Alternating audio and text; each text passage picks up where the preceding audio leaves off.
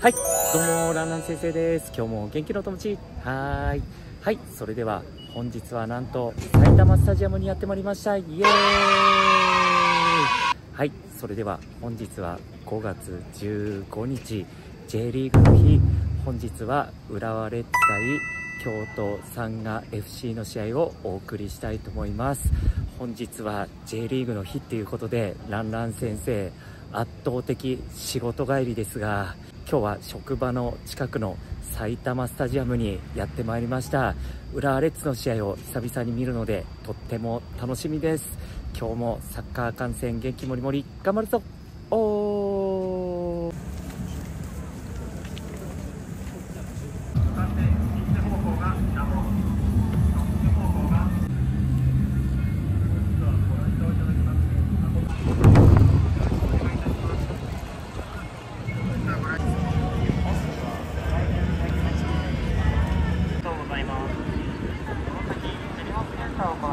行っており、控えてからのご入場をお願いいたします。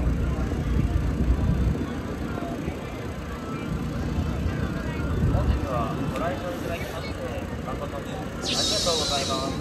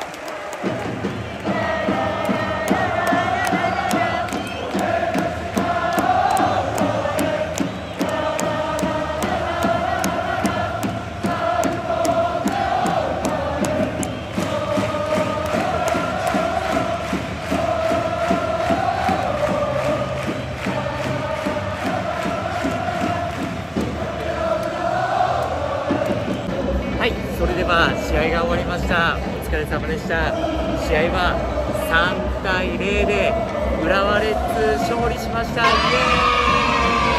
ーイ。いやもうすごい盛り上がりでしたね今日。